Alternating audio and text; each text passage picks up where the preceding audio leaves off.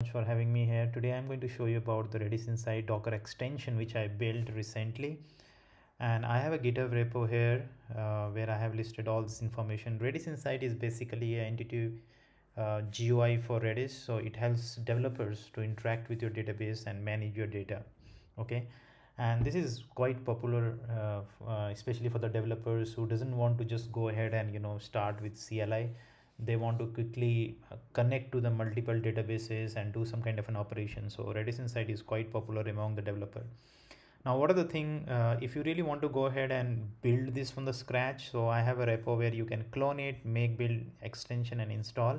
So what i have done i have already uh, I have already created a kind of a docker hub image or extensions image because extension at the end of the day it is basically a docker image.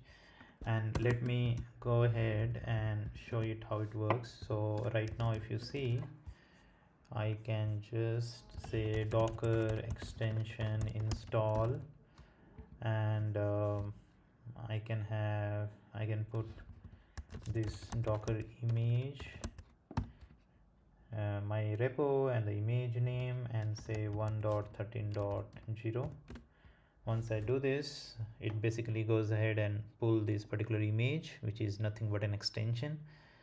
And it will bring up uh, by default it will bring up a redis database as well as a redis insight extension.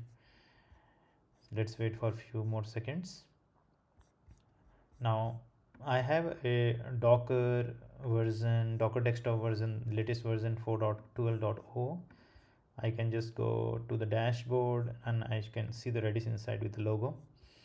And the first thing you need to do is you need to accept the license term because this tool automatically allows that. Now this particular extension comes with Redis database. So what I can do, I can just go ahead and specify my IP address which is 192.168.1.13 this is a default port which you need to give and then any preferred name of the database i will say add database and now you can see here um, you will see a CLI browser here. There are different modules which are already enabled. So as part of this Redis Insight, what I have done, uh, it's not just about the Redis database. It is also, there are six to seven modules which I have enabled for this particular tool so I can show you quickly an example. Say set foo uh, and bar okay? And then if I can say foo it will give me the information okay?